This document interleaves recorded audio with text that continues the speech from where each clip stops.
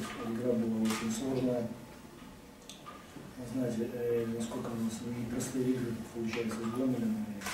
Мы очень довольны.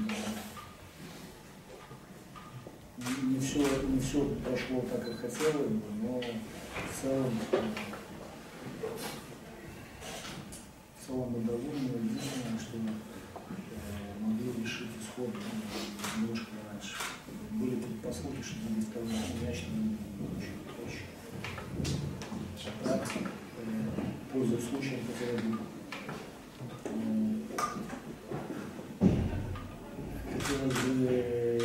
Гомель отметить очень хорошая команда, самобытная, группа атаки очень хорошая, то есть на основном была острая и очень квалифицированные нападающие.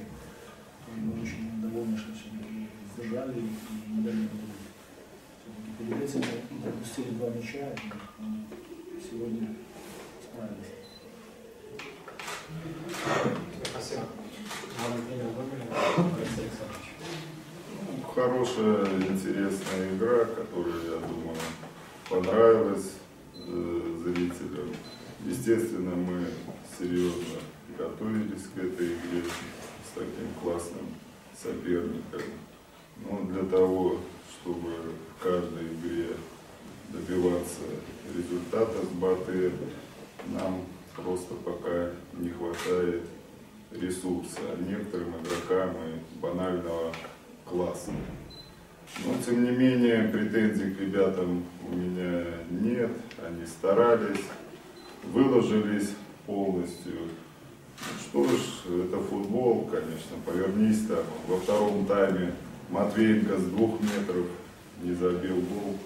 Повернись там, удача к нам к. Возможно, мы могли бы рассчитывать на что-то большее, потому что, еще раз повторю, в играх с таким соперником нужна еще и удача. Но сегодня она от нас отвернулась, поэтому проиграли. Очень жаль, очень жаль. В домашних играх это болезненно, вдвойне болезненно, когда проигрываешь дома. Но у нас впереди две домашних игры, в которых мы постараемся порадовать наших болельщиков. Спасибо, пожалуйста, можно задать вопрос. Ясно? Владимир Толстышева, Александр Владимирович, дебютный матч. И какие-то эмоции особые были, волнение, не волнение, как себя чувствуете? Ну, скажу честно,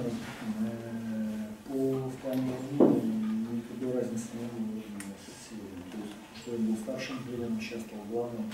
Э, Чувства схожие, поэтому особой разницы не было. Еще вопросы? Пожалуйста.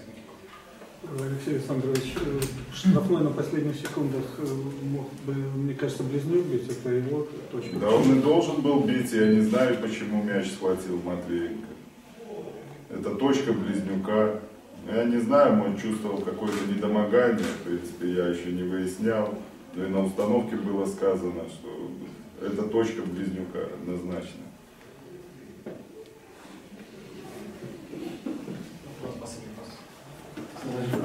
Заменить Бедослова почему? Значит, мы стали проигрывать центр поля, потому что Близнюк все-таки это не центральный полузащитник, поэтому нужно было Близнюка двинуть э, в группу атаки, ну, в смысле не в группу атаки, нападающим, а центрального полузащитника, учитывая, что у нас и Кирильчик болен, и Рудик не мог принимать участие сегодня в игре, поэтому ну, выбор пал на, я-